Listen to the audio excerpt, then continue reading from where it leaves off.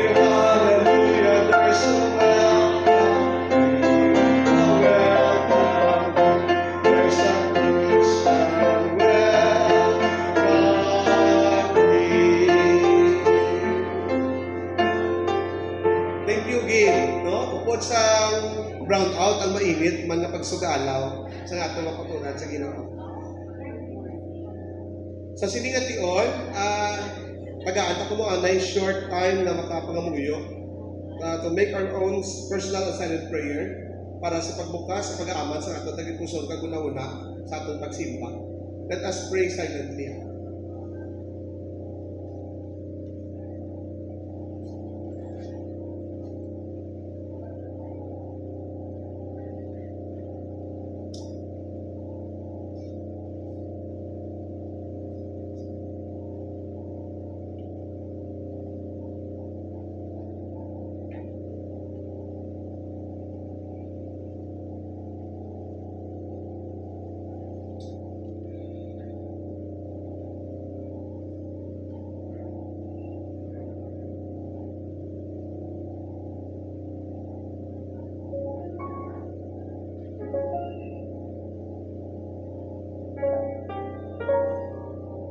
Ginoo sa sininga aga, ginabalik na amon ang tanan nga pagdayag o pagsimba sa imong ngalan.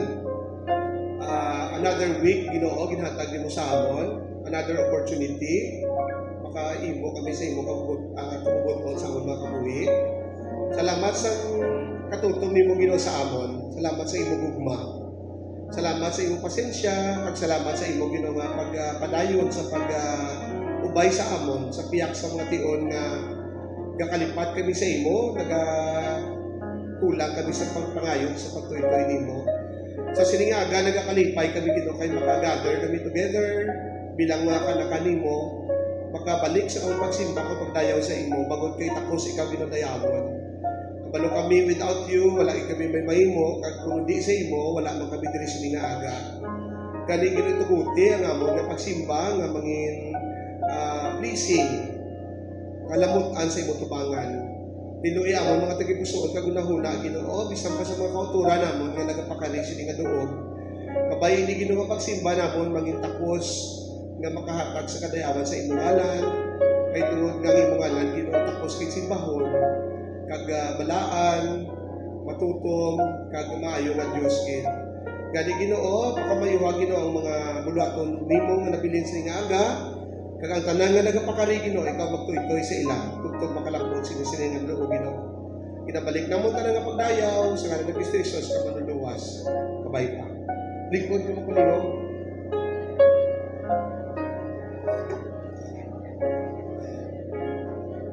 Basahon naton ang atong scripture reading sining aga nakita sa Jeremiah kapitulo 3 1 tugtog 5 Basahon naton sa sinagtanay Pagpulong sa ginagambal, verse 1, Kung bulagan sang bana ang iya asawa, kag magpamana liwat ang iya asawa, hindi na niya siya pagbawion, kay makapahigugin ini sa inyong duta. Kamu nga mga Israelinhon, nagakabuhi pareho sa babae nga nagbaligya sa iya lawas. Madamo ang inyong mga ginahigugma nga mga Diyos-Diyos. Pero sa pihak sini, gitawag ko sa gihapon, kamo sa pagbalik sa akon. Ako ang Ginoo ang nagsiling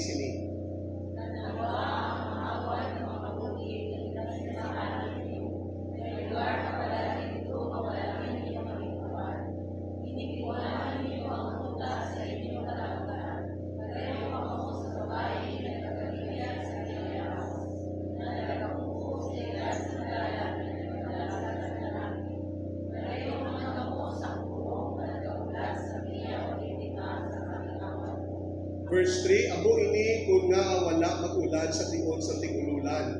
Kay pareho naging kamo sa isa ka babayi nga nagabaligya sa iya lawas nga wala naging singkuya.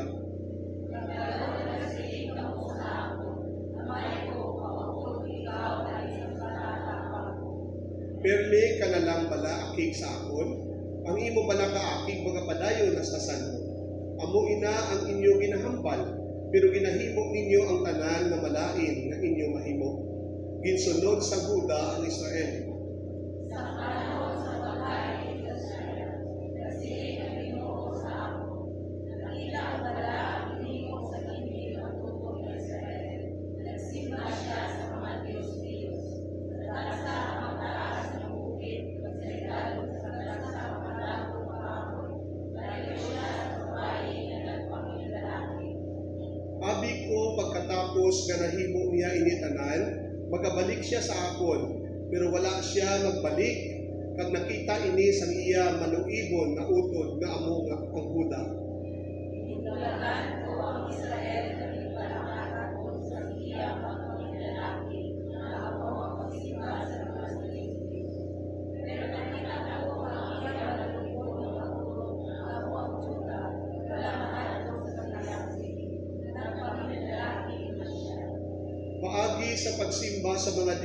Dios-Dios nga bato kag kahoy, gani inikuan niya ang luta.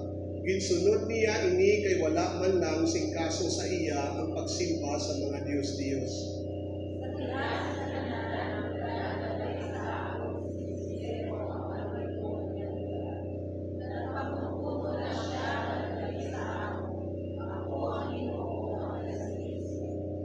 Dayon nagsiling ang Ginoo sa akon, bisan hindi matutong ang Israel sa akon, mas maayo pa sila sa sa maluibon na Huda.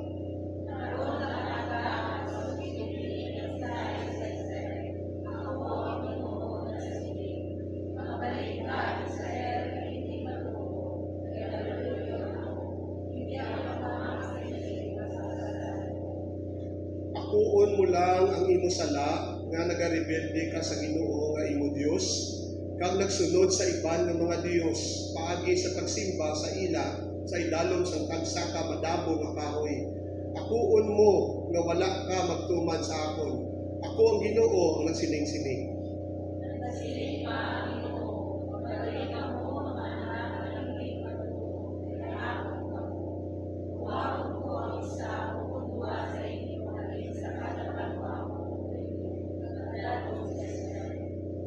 Dayon hatagan ko kamo sa mga pangulo nga ako naluga, na naluyagan nga magapangulo sa inyo nga may ihibalo kag pag-intindi.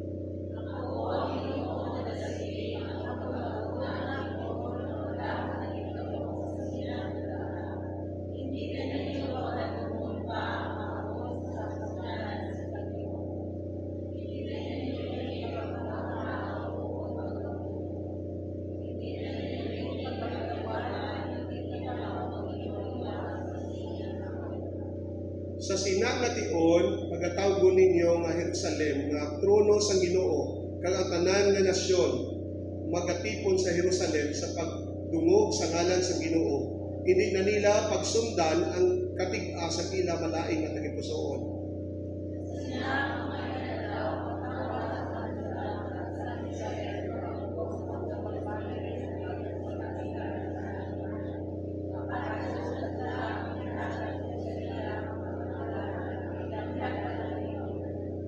Ako mismo ang nagsiling, malipayon gid ako nga ka- kabigon kamo nga akon mga anak. Kagatagan sang maayo nga duta, nga amo ang pinakamatahong nga panalublion sa bilog nga kalibutan. Abi ko, tawgon ninyo ako nga amay, kag hindi na kamo magbiya sa akon.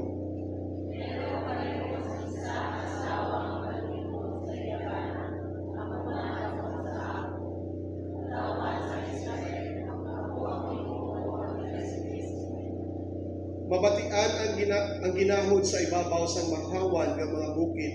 Nagahilibion, kag nagapakitluoy ang mga katawan sa Israel. Kay malai na ang ila paginawi kag gikalimtan nila ako, ang Ginoo nga ila Dios.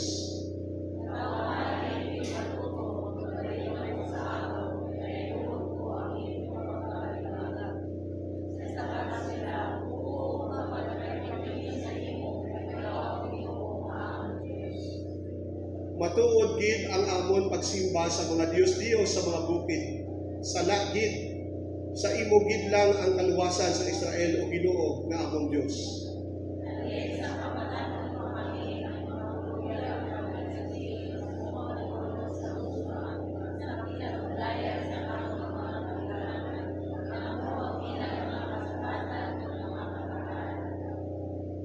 Dungan sa 25, dapat kami mga panago sa kuya ay kami ang among mga katigulangan nakasala kontra sa imo. O Ginoo nga among Dios, alin sa pamatanon pa kami basta subong wala gid nagasunod sa imo. Ang Ginoo pakamayo sa iya pulong no. Ah, sa kalawig sa gibasa tano halin sa duha ka babayi nga daw hindi ka namin masahon pero sa totoo lang kita ato kita ato nga nagarebilde sa Ginoo kagamba rin niya sa katapusan halin pa sa pamatanon nasa subong pila lang sa aton nga wala tion nga ginakalimutan ng Ginoo pero ang Ginoo isa ka like today isa ka matuto nga amay para gid kini ang Ginoo anda always mo pamati sa aton kang magbalik sa aton kung kita nakasala sa iya kita maginulso sa atin. Kamay ginoo pa kamayo si Apollo. Kataon tayo na yung isa ka ambahanon nga makita sa atong kalatahan. O sige. Sa lipot nga tiyon ma-time out anay kay isla na atong kurinti. Pagpulong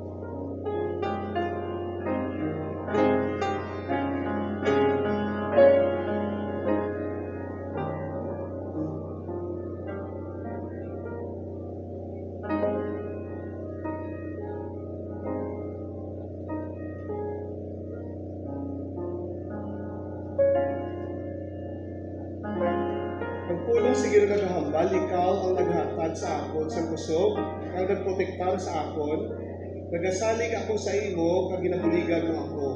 Gani nagakalipay gid ako, kag nagakanta sa pagpasalamat sa imo. Kataon ta ang ato nga pagpasalamat, kanta sa pagpasalamat sa Ginoo.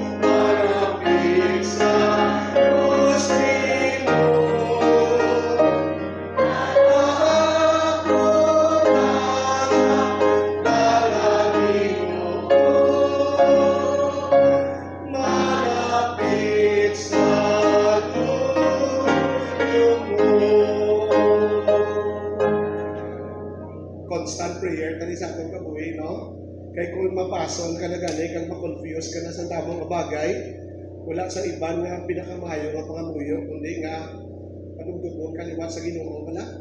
Mabinagit sa ginimo niya sa sa krus sa Kalbaryo. Sa siningation, aton basahon sa dungan ang aton pagtulungan. Pwede, begin, bilang mga sumulunod ni Kristo Jesus, kita nagatipon sa pagsimba kag pagtuad sa atong ginatuhan. Kita nagatuo nga ang Biblia sa iyang original nga pagsulat giginawa sa Dios ang kabilugan sini kag sa kapulong. Ini ang sulundan sa aton pagtuo kag ginawi. Kita nagatuo sa isa ka Dios ang manuluga sa langit kag luta. Bisan isa ang Dios, ini may tatlo ka persona, ang Dios nga Amay, Dios nga Anak, at ang Diyos na Espiritu Santo. Kita nagatuo nga si Ginoong Iso Kristo, anak sa Diyos, na bata kagi sa Espiritu Santo, kag nakawo sa isang kaulay. Nagkabuhi siya sa putli, napatay kag nabanhaw, nagkayab sa iya lawas sa langit. Kag mga kariliwan sa pagsabnit sa iya mga tumuluo, kag magatukod sa iya ginarian. Kita nagatuo ang balaan nga Espiritu Diyos, pareho sa Diyos nga Amay, kag Diyos nga Anak, kag pareha sa ila kinaiya. Kita nagatuo nga ang tao gintugasan Diyos, kag wala nagalin sa iba nga klase sa kabuhi. Tungod siya nga nagpakasala kag nakundinar, karon ang tao makasasala sa kinaiya kag sa paginawi. Kita nagatuo ang kaluwasan sa mga makasasala alin sa Diyos bangod lang sa bugay. Kag natabo, bangod lamang sa pagpatunga sa anak sa Diyos, hindi bangod sa maayong buhat. Kita nagatuo sa lokal na iglesia, kag sa pagkabilugan nga iglesia, nga amo ang lawas ni Kristo. Kita nagatuo nga ang pagtugmaw, amo ang kaisa nga pagsalom sa tumuluo sa tubig, sa ngalan sa Amay, Anak, Espiritu Santo, bilang pag-isa kay Kristo sa iyang kamatayon, lubog at pagkabanhaw. Hindi ini para sa kaluwasan sa tao. Kita nagatuo ang balaan ng panyakon, isa ka pagtundog sa kamatayon ni Kristo, tugtog sa iyang pagbalik liwan. Kita nagatuo sa lawas doon ng pagkabanhaw sa mga matarong kag di matarong. Ang mga nagtuo kay Kristo magakabuhi sa walay katapusan sa presensya sa Diyos. Ang mga wala magtuo sa walay katapusan na silot. Kita nagatuo nga ang tagsa katumuluo dapat magkabuhi para sa Diyos kag napahain sa kalibutan. Sa bulik sa balaan nga espiritu, dapat maglakad sa Kristohan ng ugma kag pagkabalaan. Kita nagatuo nga si Hesus Kristo nagsugo sa simbahan nga maglakad kag maghimo nga gitugunan sa bugos nga kalibutan. Kita nagatuo nga ang pinakamaayo na mahimo sa atong kagalingon amo ang pagpalangga sa Dios labaw sa tanan kag ang pinakamaayo nga mahimo sa iban amo ang pagpakita sa ila kung paano palanggaon ang Dios labaw sa tanan. Salamat kito. Isa pagi ka kanta tuburan langit nun. Nagsiling si Jesus sa babae, kung kay paluan mo lang kung ang ginahamon sa Diyos, kung sino ang nagapangayo sa imo sa tubig, ikaw pakuntani ang mangayo sa akon, kahatagan ko ikaw sa tubig na kahuwi. Juan 4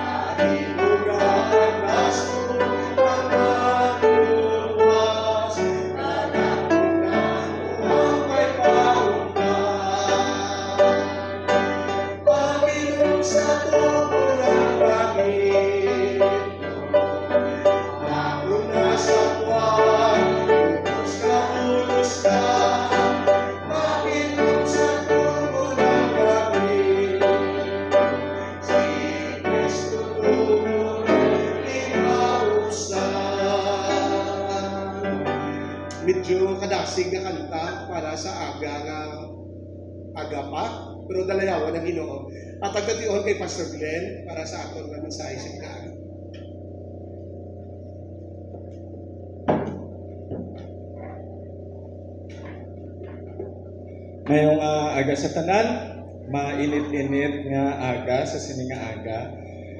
Uh, do mama ko na do wrong timing man nga naka long sleeves ko gali no. Sige lang.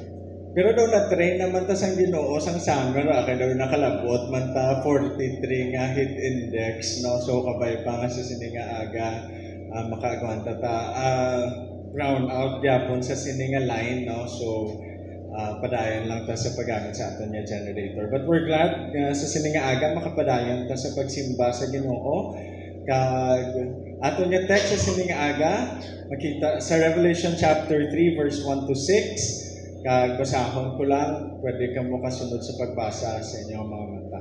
Revelation 3 1 to 6 And to the angel of the church in Sardis write This thing says he who has the seven spirits of God and the seven stars. I know your works, that you have a name, that you are alive, but you are dead. Be watchful and strengthen the things which remain, that are ready to die, for I have not found your works perfect before God. Remember therefore how you have received and heard, hold fast and repent. Therefore, if you will not watch, I will come upon you as a thief and you will not know what hour I will come upon you. You have a few names even in Sardis who have not defiled their garments, and they shall walk with me in white, for they are worthy. He who overcomes shall be clothed in white garments, and I will not blot out his name from the book of life, but I will confess his name before my Father and before his angels. He who has an ear, let him hear what the Spirit says to the churches. Uh, pray ta sa pag dayon ta tuon sa puno sa Ginoo. Ginoo Diyos namon nga langit no nagapasalamat kami sa imo kag naga kari Ginoo sa imo ti ilan nagadayaw kung sino ka kung ano Ginoo ang nahimo mo sa among buhay. Pasalamat kami amay nga may isa kami ka Diyos nga nagtuga sa amon, nagtipig sa amon kag nagluwas Ginoo sa amon. Salamat nga ikaw Diyos among Diyos nga balaan, Diyos nga perfecto, Diyos nga matarong, Diyos nga maluluyon, Diyos nga magpanalanggaon. Kaya salamat amay nga may ara kami. Langit nun nga amay sa imo nga nagpromisa nga hindi magatalikod kay magapabaya sa amon. Salamat kimo sa kaluwasan nga na-experience namon sa kay Kristo Jesus. Salamat nga paagi sa iya iskan makasasala kami, makapalapit kami sa trono sa imong bugay nga wala sing kahadlok tungod kay sa pagtuo naman kay Kristo, ikaw Ginoo nagtinlo sa amon yung mga sala kay nagkilala Ginoo sa amon nga imong mga kaanakan. Kay sa sininga aga ikaw Ginoo nagaimbitaw sa amon sa pagsimpa kay sa pagdayaw Ginoo sa imo kabay pagid nga gaan mo kami Ginoo sang taging pusuon nga malipayon sa pagimo sinig sa pag-amon nga pagkanta sa amon nga paghatag kay bisan pa man Ginoo sa siningation sa amon pagpamati sa imong pulong Kabay pagit Ginoo ikaw maghatag sa amon sa kaalam sa pag-intindi sini magbukas Ginoo sa amon ng mga mata, magbukas Ginoo sa amon ng mga panguna-una nga makita Ginoo namon ang mga bagay nga gusto nimo itudlo sa amon halin Ginoo sa sining bahin sa imong kasulatan. Kaya pangamuyo kami Ginoo nga sa sining aga ikaw magula sa imong pagpakamaayo kag ikaw ang madayaw sa among tunga sa ngalan ni Kristo Jesus. Amen. Gapadayon ta sa aton nga pagtuon sa libro sang Revelation, primarily sa Revelation chapter 1, chapter 2, kag chapter 3. Sa diin ang ina sa konteksto na tunan ta few Sundays ago nga sulat ni Jesus Christ sa pito ka mga kaiglesia,hanan sa Asia. No? And primarily, we see the context sa Revelation chapter 1, 1 uh, 9 to 11, I, John, both your brother and companion in the tribulation and kingdom and patience of Jesus Christ, was on the island that is called Patmos for the word of God and for the testimony of Jesus Christ. And I was in the Spirit on the Lord's day, and I heard behind me a loud voice as of a trumpet. Kaya makita, tanga kong padayon to sa pagbasa sa chapter 1. This loud voice comes from Jesus Christ Kag si Jesus Christ nagsugo sa iya, nag-describe sa iya kaugalingon, I am the Alpha and the Omega, the first and the last, and what you see, write in the book and send it to the seven churches which are in Asia, to Ephesus, to Smyrna, to Pergamos, to Thyatira, to Sardis, to Philadelphia, and to Laodicea. O so makita ta nga sa sininga context, ang book ng Revelation was actually a letter to the churches. Although it involves future things, pero primarily, ang libro ng Revelation is a ka-epistle nga ginsulat directly to the seven churches that are existing in Asia that time. Now, kag ang ini mga seven churches would be Ephesus, Smyrna, Pergamos, Thyatira, Sardis, Philadelphia, and Laodicea. No, kung natunan ta ang pila na ka mga simbahan, Ephesus, Smyrna, Pergamos, and Thyatira. Kaya kanami, kay kung may isa ka author nga nagambal nga namin, ni nga sa simbahan, matunan ta from time to time because it's like a temperature check sang aton nga kabuhi bilang iglesia.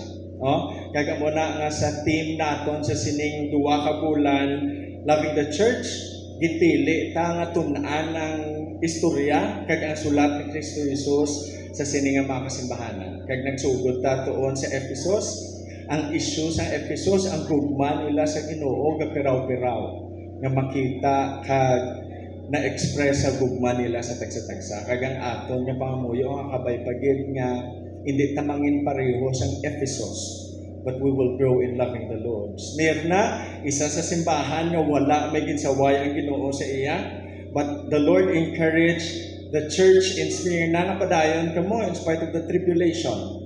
Kag kanami man ang mabatian tas ang Ginoo nga wala tani isaway no. Kung sulatan man ang Masaba Christian Church tani wala may isaway ang Ginoo. But of course can encourage ang Smyrna that you will go through tribulation kag ang encouragement sa Ginoo sa ila nga I will be with you. Pero gamos is a church that has been compromising. No? Kag may warning ang Ginoo sa ila the same way sa Thyatira that we studied last time nga ang sala ginatolerar sa sulod sa iglesia. No? Kag along with that are promises and judgment together with the challenge of the Lord Jesus Christ. Kag sa sini nga aga, tunanta ang ikalima nga sulat, kag ang ini nga sulat para sa Church of Sardis. No? Kag makita ta sa verse 1, And to the angel of the church in Sardis, right? No? Of course, the angel there, sa pagtuon ta sa nagligat, refers to the pastor. Kag makita ta nga ang ini nga mga sulat, ginsulat para sa mga pastor, kag ang kung anong ara sa sinakasulat, ihambal sa mga pastor sa ilang congregation. So medyo kakulumbaan man kung pastor ka sa sining pito ka iglesia, ikaw gali ang ginasulatan sining. No? Kag si Sardis, the only reference that we have in the Bible regarding Sardis is found in Revelation chapter 3. No? Uh, ang kung tulokon ta sa map nagsugod ta sa Ephesus, Smyrna, tapos nagsaka sa Pergamos, tapos nanaog sa Thyatira, kag nanaog liwat sa Sardis. No? So makita ta this uh, this letter is intended for the city. A little background sa sininga syudad. Sardis is one of the most prominent city in Turkey during this time. No, kadamo gampal nga kung ang Thyatira sa nagligad insignificant nga syudad, ang Sardisia was the capital of the Lydian Empire years before Jesus Christ was born. No? So, so ang Turkey was very prominent. Um, Sardis was the capital city. No? In fact, may mga historical account nga sa Sardis damo-damo gold kag silver to a point nga may may ara na tagline nga pariyo ka mo sang hari sang Sardis. Sao, nga mo na ka manggaranon.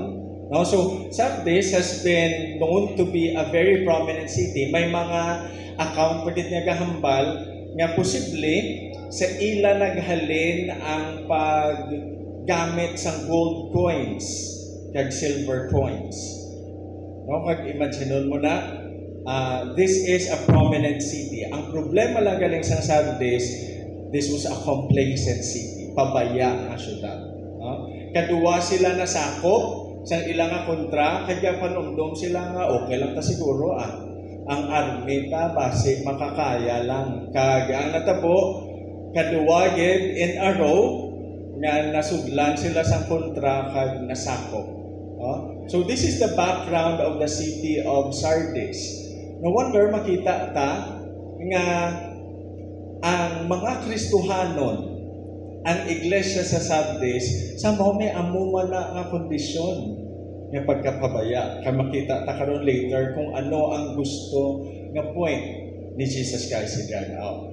And Jesus Christ tried to present himself as number one, this thing says, He who has the seven spirits of God. Kung may isa pa siguro ka passage sa Revelation nga medyo budlay interpret, si Jesus nagambal sa iya kagalingon, ako ni nga nagauya sang pito ka espiritu sa Ginoo.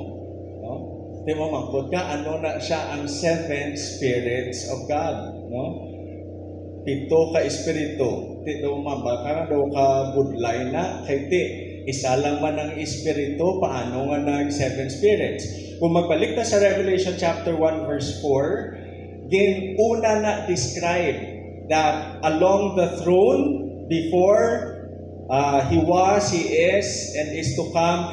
And before him was the seven spirit and Jesus Christ. So makita ta nga ang seven spirits gin-introduce na sa sa chapter 1 kay ginpatupong sa Dios nga Amay kay sa Dios nga Anak. Kag kaklaro that when Jesus Christ talks about the seven spirit of God, he refers to the Holy Spirit. No? Kama ba kati paano nga aging gamit pito, no? Kung maglantaw ta sa Revelation, ang pito may significance nga perfection. Pero si John MacArthur kanami sa iyang commentary nga nagahambal that the seven there does not refer to seven in number but seven in quality.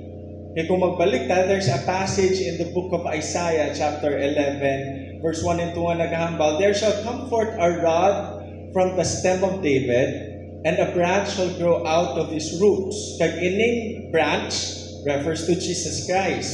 Kag sa verse 2 nagahambal, the Spirit of the Lord shall rest upon him. The Spirit of wisdom and understanding, the Spirit of counsel and might, the Spirit of knowledge and fear of the Lord.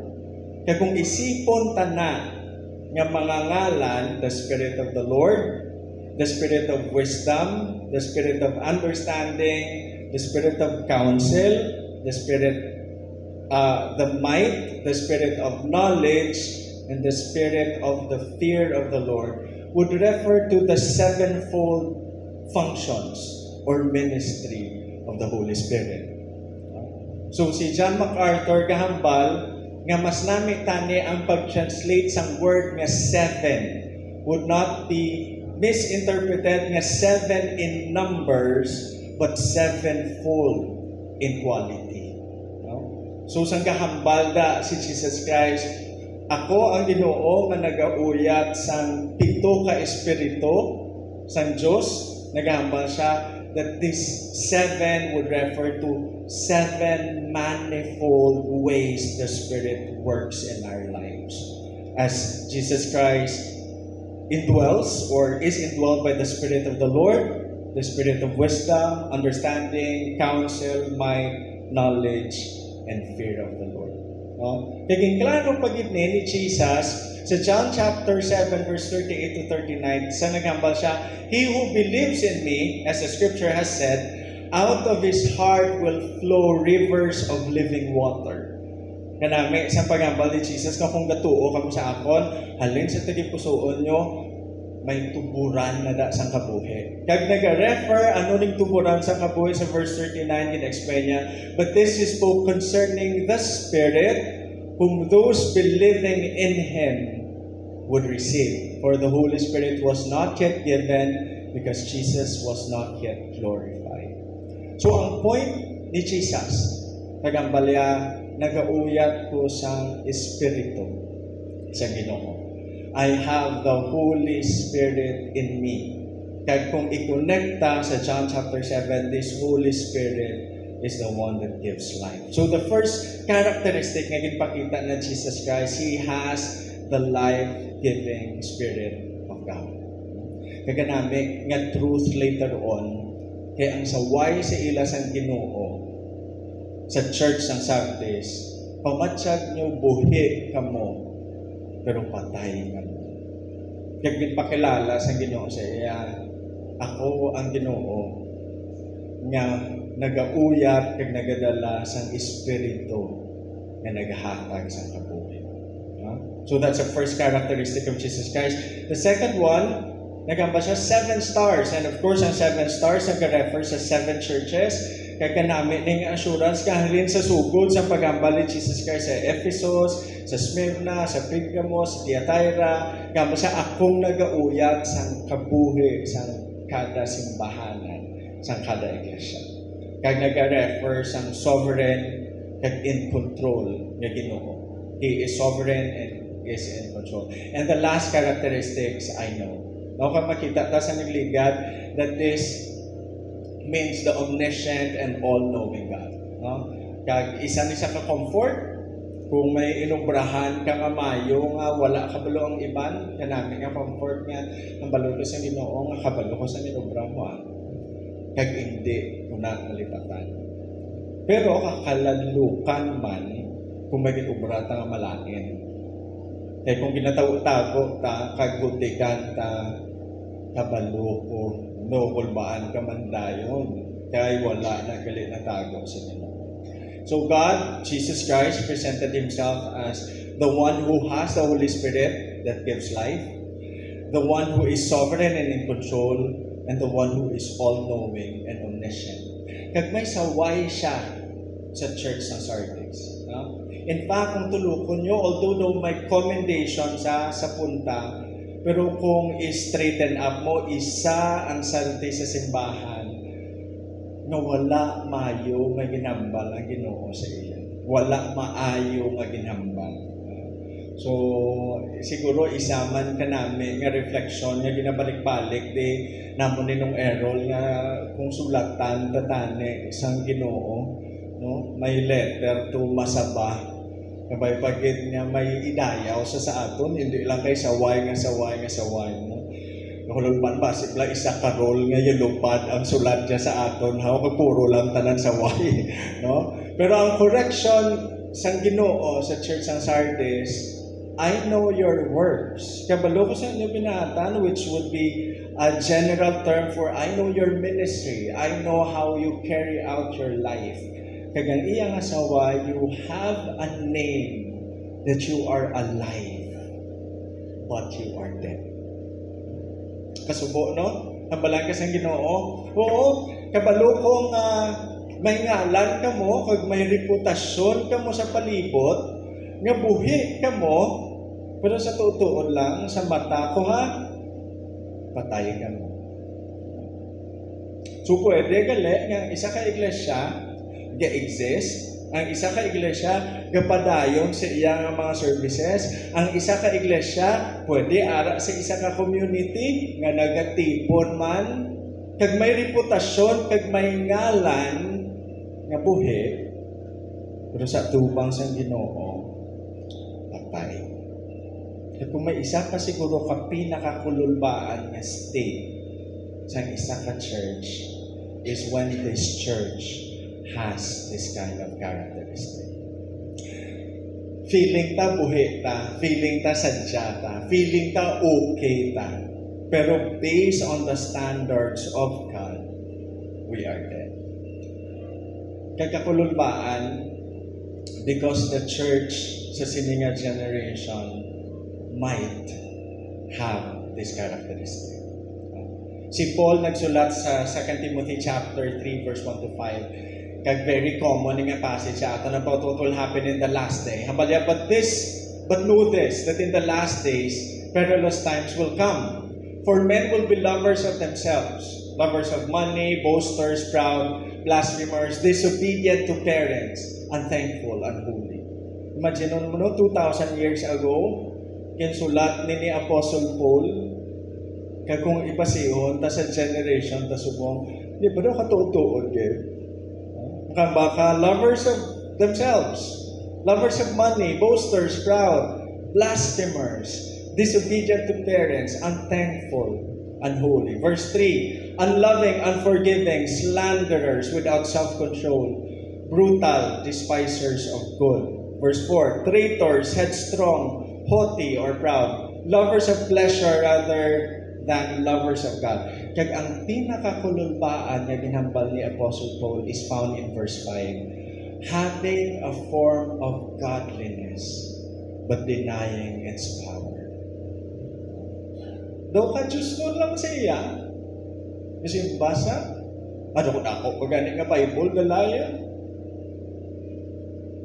Do may purma sang pagka-Diyos.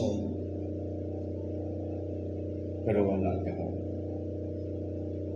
Kagamuning kakululbaan nga stay.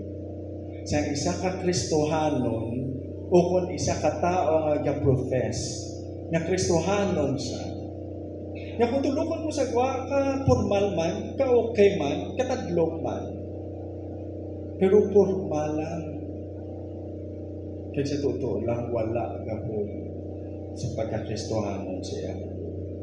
And this is the tragedy nga ginakulbaan ta sa aton nga iglesia, sa aton yung mga young people, sa aton din nga mga Kristohanon sa sulod. Nga ba si feeling ta okay ta kay kung lang tawon ta sa gwa, ati daw ka Christian lang na sa ila. Pero sa totoo lang, formal lang galitan. So why man ni Kristo Jesus actually sa mga religious leaders of this time when Jesus Christ called them out and said, Woe to you scribes and Pharisees, hypocrites, for you are like whitewashed tombs, which indeed appear beautiful outwardly, but inside are full of dead men's bones and all uncleanness. Kapag mo nang kakululbaan, kaya sa gwa, daw ka okay lang. Galakat ang Pharisee, daw hindi mo matandog kay grabe, kabalaan, pero hambal siya sa ginoo, daw, daw pansun lang ka. Puti ka mo sa gwa, pero sa sulod, ara da ang kamatayon. Ara da ang lawas niya gadunod kag ulo. And this is a reminder for us as a church in line with the experience of the church of Sardis.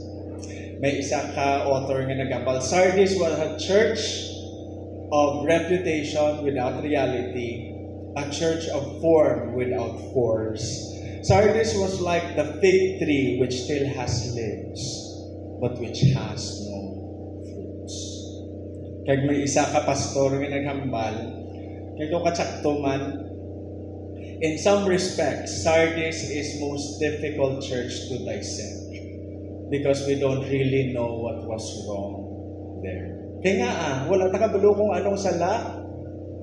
Kay purma lang siya. No, kung sagwa, ma, baka ka-okay lang man siya. Do wala gid siya problema. Kaya mo nang pinakadako nga problema.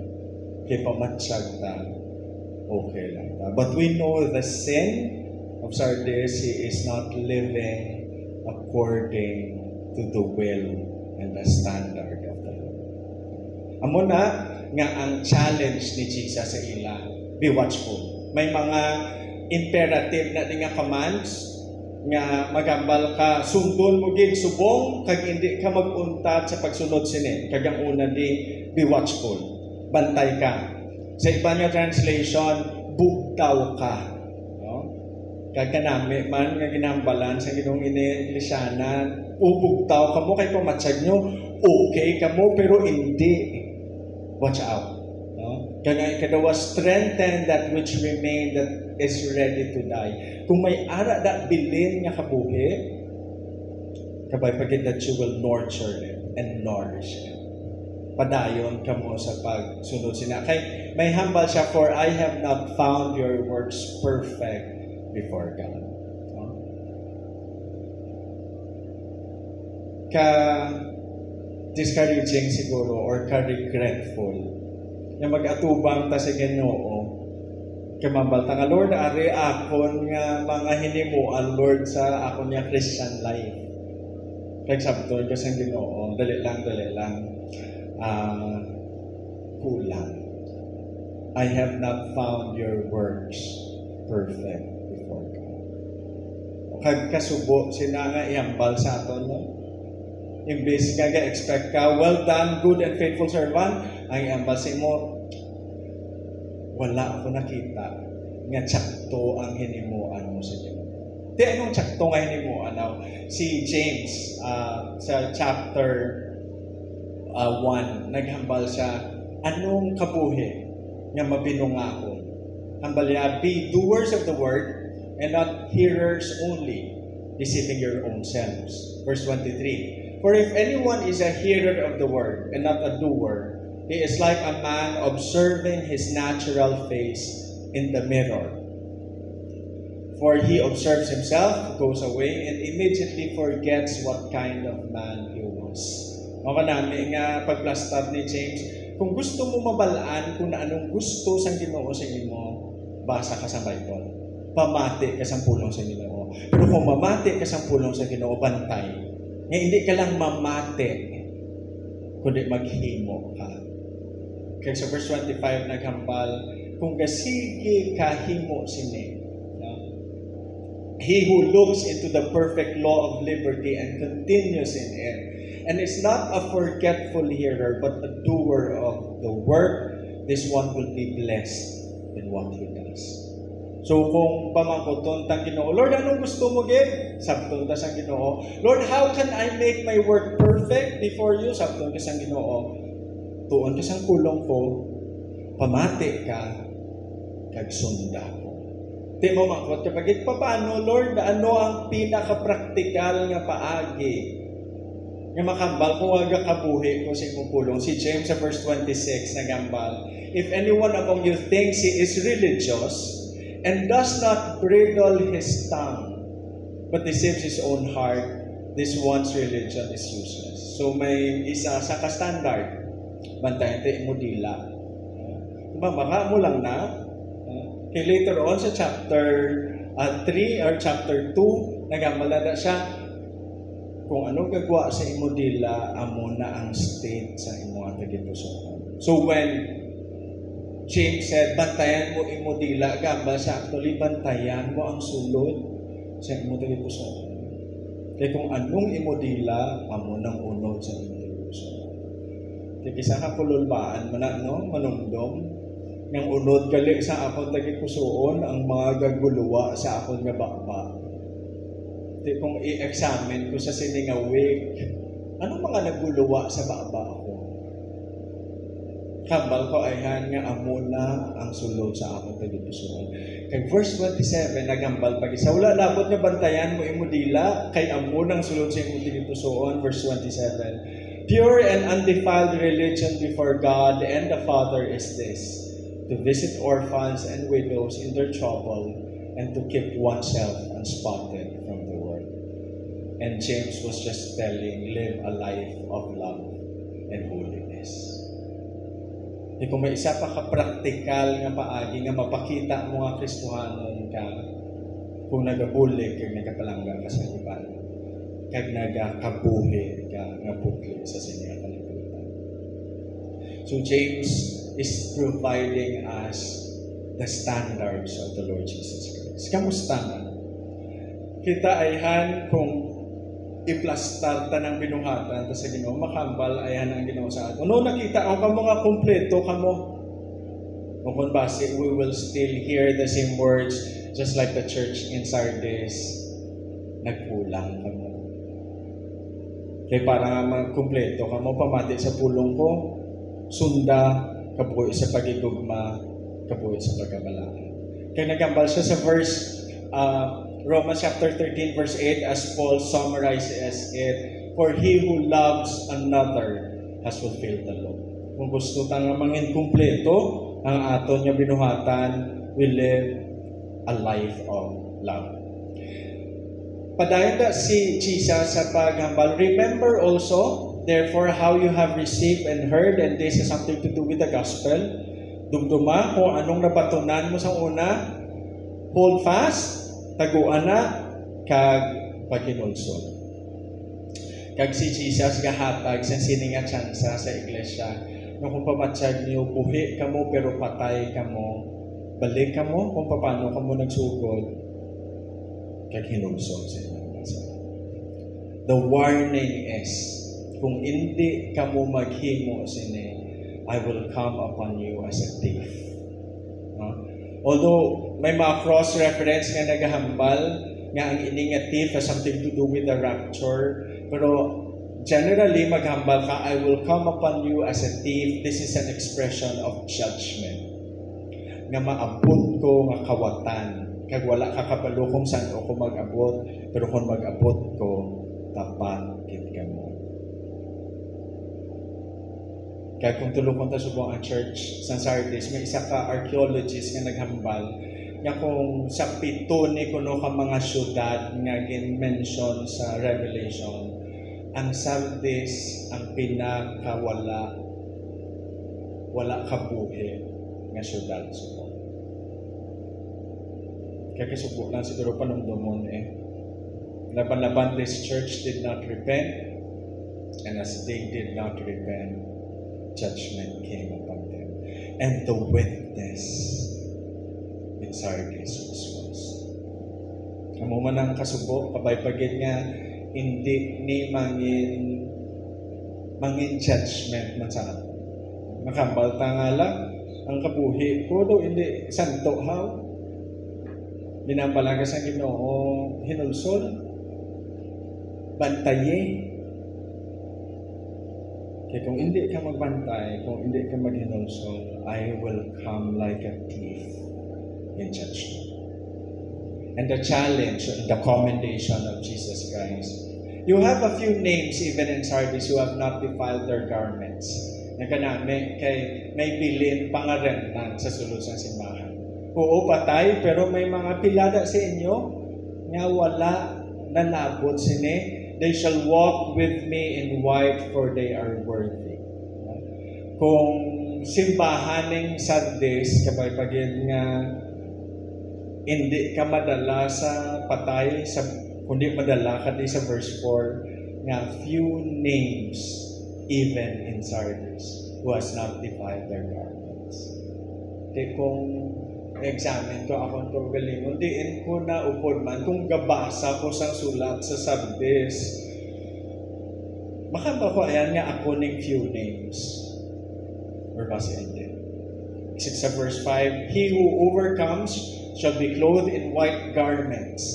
Kag ang word nga overcome sa ato niya pag-review sa nagligat, sinong maka-overcome sa 1 John chapter 5 verse 5, He who overcomes the world, but he who believes that Jesus is the Son of God. So when we talk about overcoming, we don't overcome by simply on our own selves. But rather, nag-overcome ta sa pagtuo sa kay Kristo Jesus. Kag ang mga nagatuo sa kay Kristo Jesus, anong promise ang Ginoong sa ila? May tatlo, be clothed in white garments, will not blot out his name from the book of life, but I will confess his name before my Father and before his angels. No? And this all refers to redemption. Kaluwasan. Makatubang ka sa Ginoo nga puti, picture sa atonement. Kag ang inada nga word, I will not blot, blot out his name from the book of life. Ang Sardis, may aral na sila kuno listahan sang census. Kag makakas ka lang sa census, kung napatay ka, kag kung nakahimo ka sang sala, nga hindi ka na mangin citizen sang Sardis. Kag given this picture, kung taga Sardis ka, kag pamati ka sa hambal ni Jesus Christ, I will not blot out your name from the book of life. Gahambal sang assurance nga padayon kagyapon nga citizen sang langit.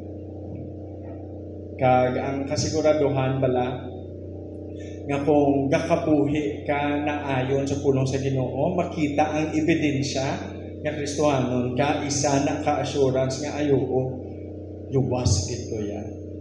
Ang kakululbaan na kisa kay Ario, kisa gawali kami sa mga patay, no?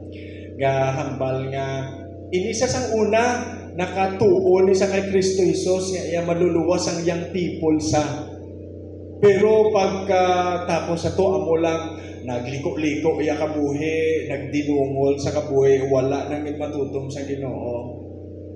Kaya napatay. Kaya kisa, kung tulukon mo ang bunga sa iya Kristohanon nga pangabuhi, wala nagasanto sa tuod-tuod nga ebidensya nga makambal Kristohanon din siya. Kaya kisa mo nakakulubaan. Sabi nyo, kahaladlukan nga maghambal nga ay luwas ko kay may isa ka tion nga nagpray ko kag amo to dason ang basiya sa akong kaluwasan kag amo lang to because ang tuod-tuod nga isa ka Kristohano nagapadayon sa pagpangita sang bunga nga tuod isa ka Kristo kag isa na siya ka assurance nga kung Kristohanon ka man gid nga tuod-tuod your name will not be blacked out in the book of life. Kag isa ka nami ng honor si Jesus gambal, I will confess His name before my Father and before His angels. Inang hindi mahuya ang ginoo nga ihambal nga inisikuan bata ko na. Ari olan tawa niyo bata ko ni sa ni makita ang bunga sa pagkakristohanon siya. Kapag pagin nga amo nga ang ma-experience ta nga mapatay ta sa tubangan sa Ginoo si Jesus Christ mambal sa aton ara-ara si Juan bata ko na Lord batuna na sa ang kakulubaan ara sa Matthew chapter 7 verse 21 23 nga nagambal not everyone who says to me Lord Lord shall enter the kingdom of heaven but he who does the will of my Father in heaven. Verse 22, Many will say to me in that day, Lord, have we not prophesied in your name? Pwede galing nga gawali ka pa? Cast out demons in your name. Pwede galing nga pang cast out ka pa demons? And done many wonders in your name. Pero ang habal si Elas ang ginoo, And then I will declare to them, I never knew you. Depart from me, you who practice lawlessness. Kaya amo ning pinakakulubaan nga state sa kabuhi. Nga abita para sa sartis, buhi ka mo.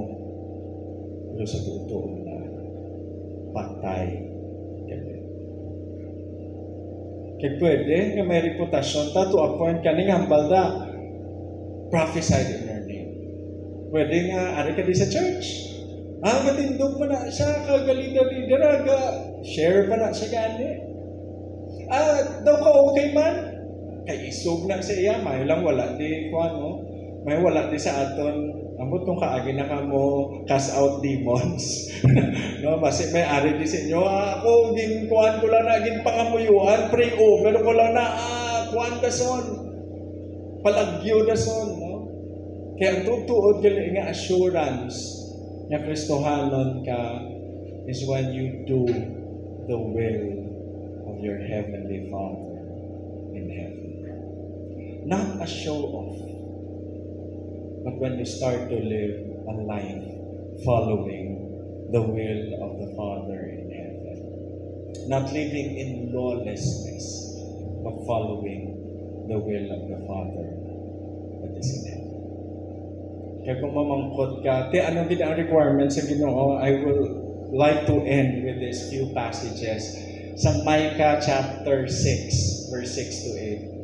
Nagpamangkot na da si Micah, With what shall I come before the Lord? And bow myself before the high God? Shall I come before Him with birth offerings, with calves a year old? Mapalapit ko sa Ginoo nga may offering. Verse 7, Will the Lord be pleased with thousand of rams, ten thousand of rivers of oil, Shall I give my firstborn for my transgression, the fruit of my body for the sin of my soul? Kaya pamangkot, si Micah, paano ko magpalapit sa Ginoo? Ano ma-sakripisyo ko sa iya? Pila ka libo nga baka? Pila ka tunilada nga oil which we will use for offering? Patson ko akon ka ugalingon sa pag-alaga sa iya, ginsapat sa sang Ginoo sa verse 8. He has shown you, O man, what is good. And what does the Lord require of you? Kaya amo nang gina-require sa Ginoo sa atin. Do justly. Love mercy. Walk humbly with your God. Kabuhi ka nga matarong. Kabuhi ka nga mapinalanggaon.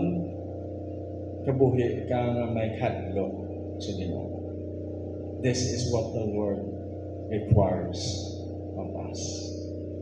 Kaya kung ibalik ta ni sa New Testament, gin-reiterate ni Jesus Christ, and this is the life verse of Masaba Christian Church na nagamba. Love the Lord your God with all your heart, with all your soul, with all your mind, with all your strength. This is the first commandment. And the second, love your neighbor as yourself. There is no other commandments greater than this kung may isa pa ka ebidensya nga buhi ka sa pagtuo na hindi ka patay kay base may reputasyon. Ka lang ang Kristohanon kuya. May ngalan ko nga buhi ko sa kaebidensya baka baka hindi ko patay nagapalangga. O kay Jesus sa sini nga pagpalangga nagaawas-awas na nagapalangga ako sa iba. Kung bana ka, nagapalangga ka sa imo asawa, kasi imo kabataan. Kung asawa ka, nagapalangga ka sa imo bana, kasi imo kabataan. Kung Kristohanon ka, nagapalangga ka, imo kabuhi, isa ka kabuhi, nga nagasiga, kay nagadayaw sa imo. Kasi sa totoo lang, kakululbaan nga hambalan ka sa Ginoo pamatsag mo buhit ka. Pero patay ka. And Jesus ends his letter. He wasn't here. I think here what the Spirit says to the churches. Kung makapamati ka, pamatiin eh. Kaya importante. How's my life right now? How's my love right now? kung i-gauge ko ako ng Christian life. Is it a Christian life that shows the fruits of my relationship with Jesus Christ? Is it a Christian life that is truly alive? Kay base, pero isang sabi isang balan ko, pamatsag mo buhi ka. Pamatsag mo purmada mo buhi ka pero sa totoo, patay ka. Because, as we end, I'd like you to live, I like to live with this conclusion. Authentic Christians are not judged by their looks, but by their love. Ga, profess ka, Kristohanon ka, hindi lang purmada, hindi lang pakita, kundi kapadayon sa pagiging No, kabaypagin nga this will be a lesson for us as a church. Kamusta ta bilang simbahan? Can we say nga huo? Kung makakita da ang mga sagwa nga ari kami di gasulod sa Masaba Christian Church, makambal sila nga huubuhi na sila. Kaya kung makita ta sa Ginoo, kabaypagin nga hindi lang reputasyon sa tao sagwa, kundi makambal gid ang Ginoo nga huo. Taga masaba buhi na sila. Kaya wala lang na sila gapormada nga balaan. Kundi kakabuhi sila sa guma. Nga amo ang pinaka-importante nga bunga nga kita tuntuon kit ng mga linuwas. May we be reminded of these words of Jesus Christ for the Church of Sardis, which is for us as a church and individually as His children. Let's pray. Father, we thank you for your word. We pray, Lord, that you will keep this in our hearts. Ask for grace in Jesus' name. Amen.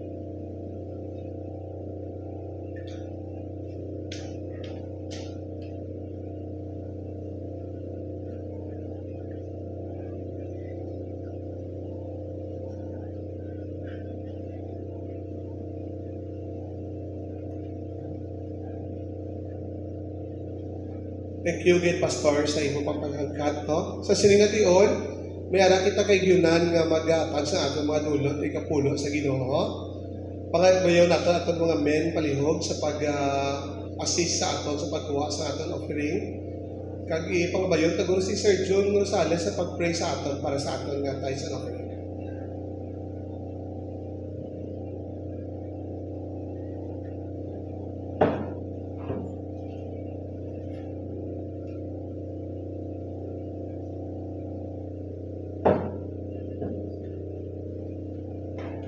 Let's bow down our heads and pray. Thank you, Lord, for sa tiyon nga ginatag mo sa amon nga makapamati sa mga pulong. Salamat sa mga kamaturan nga ano mo na batian. And thank you for the challenge na that we should uh, examine ourselves daily if we are still in the faith. Thank you for uh, making us realize that uh, we should live a life that is pleasing to you and uh, worthy of the calling that you have been called. Lord, at this time we ask for your blessings sa tingon nga ini nga makahatag kami sa and offerings, knowing that uh, everything comes from thee. And uh, we give up, we give this offering not because we have to, uh, to show our love for you. Bless our offerings, Lord. May you use it for your glory, for the spread of the gospel to all nations. In Jesus' name we pray. Amen.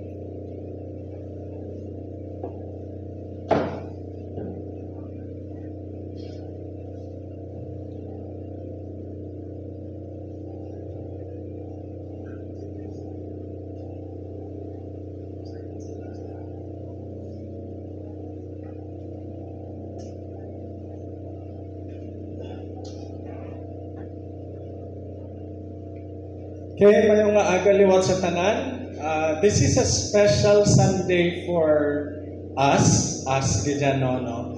Uh, uh, tungod kay ang third Sunday of June is considered Father's Day. No? Kag diri sa masaba, nga pasalamat sa mga tatay ta nga ari sa simbahan. No? So, uh, Happy Father's Day sa mga tatay. Kag para nga hindi man ta magpaperde sa Mother's Day sa nagligad. Gina-request ko tanan nga tatay nga magkadto di sa una, no? Ah, mga tatay nga ari di subong mapilalan ta di subong 1 2 3 4 5 Ah, tanan yung mga tatay ah pungko ta di sa una kay ginareserba na kuno para sa inyo. Okay? So all fathers here, ah tindog ta di, Okay. So, ma mainit-init subong nga aga. Kay arada kay sa siniman nga aga pag ah, kantahan kita sa aton nga mga kabataan no so i-request ko ang mga kabataan sa pagsaka sa stage para sa ilang ah, special number. Okay, para in honor of our fathers this morning. Okay.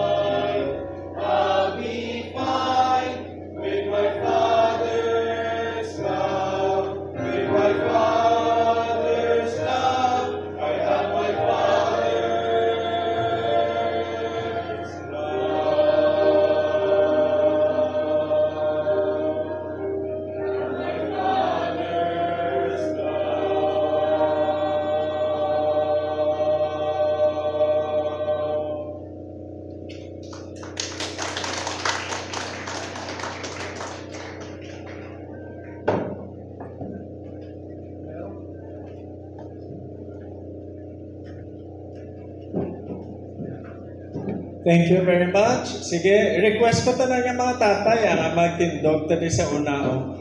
Kay para mapicturan man ta. Okay. okay, sige.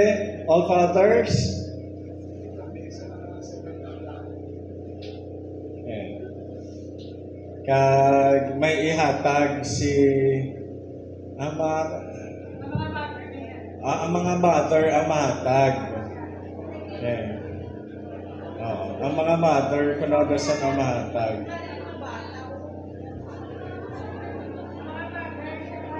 Ang mga mother kag children.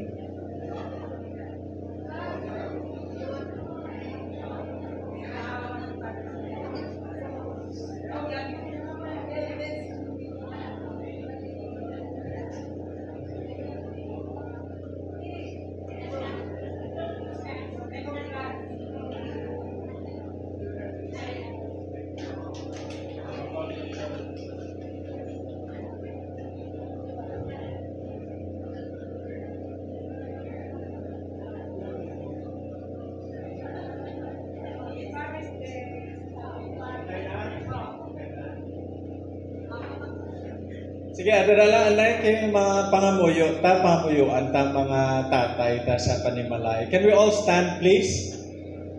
Uh, pray ta.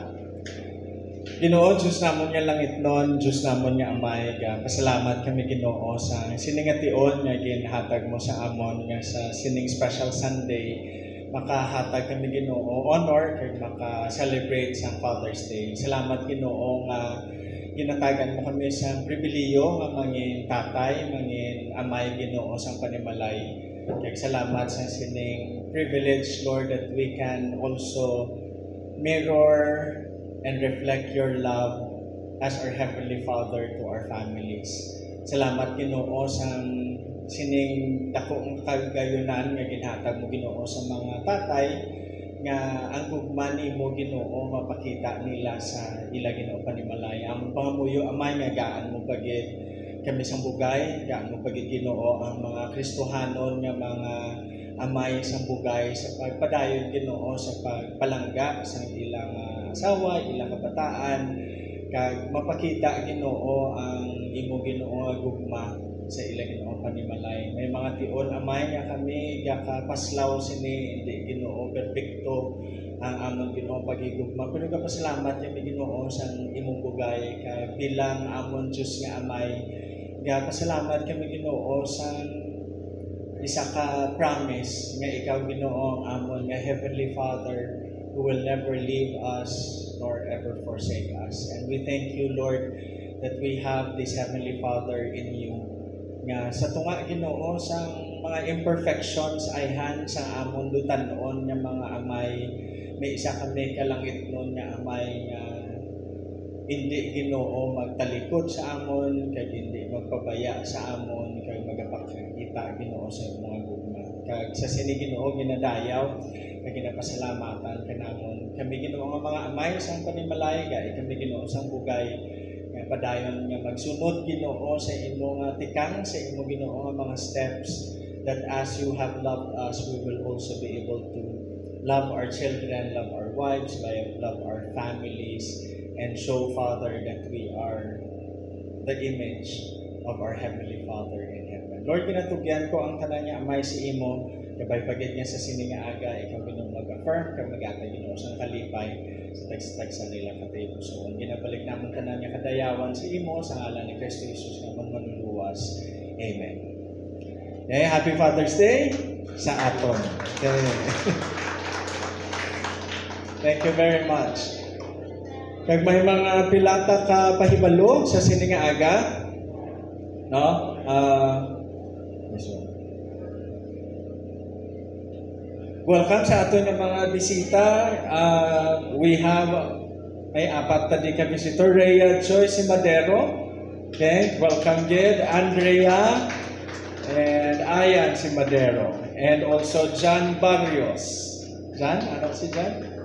Okay, welcome gid sa uh, Masaba Christian Church. Kag pasalamat gid kami nga naka bisita kamo kabay bagid nga amon nga presence mangin isa ka pagpakamaayo sa inyo sa siningaga. Take note sa aton nga mga worship services. Uh, tinerta para sa aton nga Sunday School at 9.15. No? Kag aton mga online activities, please take note. Kung may mga activities nga gusto ka mo pakipahinan, uh, contact nyo lang ang mga staff. No? Also, aton nga prayer meeting every Wednesday, 6 to 7.30 p.m. No, kapadayon kita sa pagpangamuyo sa aton nga project. Uh, we're on the second phase subong sa aton nga expansion project no? So padayon ta sa pagpangamuyo kag pagbuylog siniman no? Sa uh, aton nga iglesia no? Kag uh, Sunday school of course at 9:15 kag sa sining uh, week no? Thursday and Friday may pagahiwaton no? Overnight camp ang aton nga mga young people So pangamuyuan ta ang ini nga mga activities as of the moment may mga lapit 40 or 30 plus nga mga young people nga nag-enlist to join this camp. No, so let's pray for them. Kag may mga pipila ka mga uh, bata nga aton nga paga-sponsoran. So kung you want to uh, participate by uh, sponsoring uh, young people, uh, Mayo get just contact any of us if this is the desire of your hearts. Now, kay sa mga young people, please get ready. May mga arata, mga what to bring. So, just take note of that and that will be on Thursday. No? So, alas 8 sang aga sa Thursday, ari na tadi sa church kay dungan tama katuman sa aton nga campsite. No? So, may ara singles month fellowship uh, kag ng arts and crafts. Kuno ang single subong no? Team nila. This will be next Sunday. Next Sunday. So June 23 4 p.m. dire lang sa church no? And masugod naman ang aton vacation Bible School sa June 24 to 29 that will be next week. So if you would like to participate as uh, teachers you want to get involved, may ara kita nga pagahiwaton nga VBS seminar was sa Martes hasta sa Wednesday. No? So if you would like to enlist as teachers, uh, maayo gid we invite you to participate sa sinanga seminar. No? So, padaan sa pag-pray sa kinong Errol, uh, safety, padayon, kag uh, sa nagligad nga Sunday may sunog nga nahiwat nahiwat natabo diri sa pasensya na ko sa Ilonggo ko. Do programa gid no sunog nga nahiwat. Sunog nga natabo diri sa Purok Malinong no? Kag we call out for donations. Nga pasalamat nga sa sinang simple nga paagi makabulig ta sa ila. Kung sa sini nga semana may ara pagyapon mga donations we can we can still give it to the affected families. Kag kanami nga opportunity nga maka katuta makahatag makapangamuyo sa ila.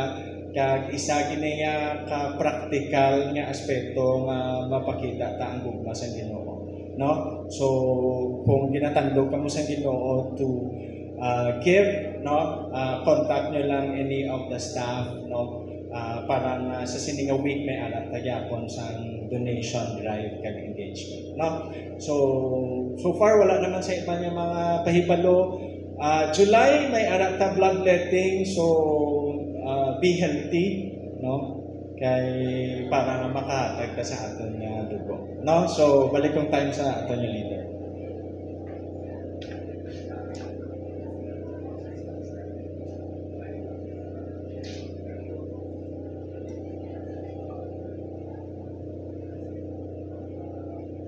aton pag-close sa uh, pagsimba, mga bayong kamutan sa pagtindog. Kataon nato tatlo ka stanza sang nagatindog sa panaad. Pag-pray tamon siguro nga sa second service, magsiga na suga, pero wala maging announce nga may brown out na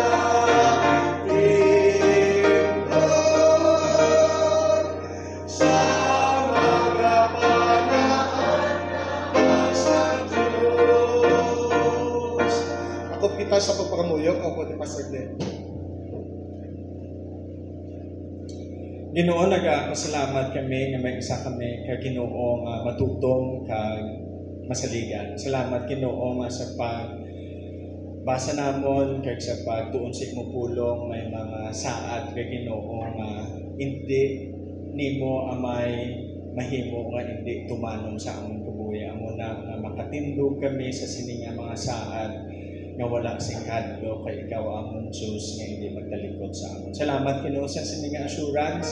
Salamat Ginoo sa pulong nimo nga amon natunaan nga nag-remind sa amon sa pagkabuhi nga mapinungahon sa amon Kristohanon nga pangabuhi. Kaya amon ni Ginoo ang kapakilala nga kami imo maging mga kanakan. Nagsasinigin mo si Mana sa pag-atubang namon sang sining bag-o Ginoo nga si Mana kabay pagidgaan mo kami bugay.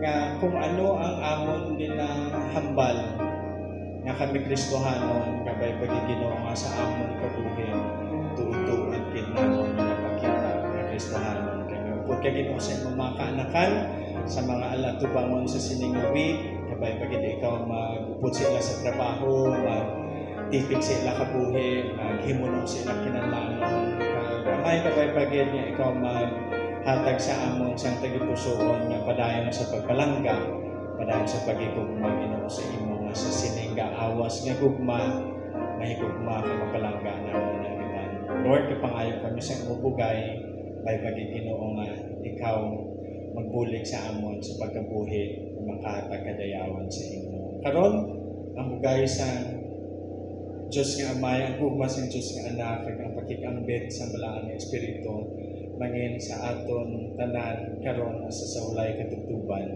kabay pa.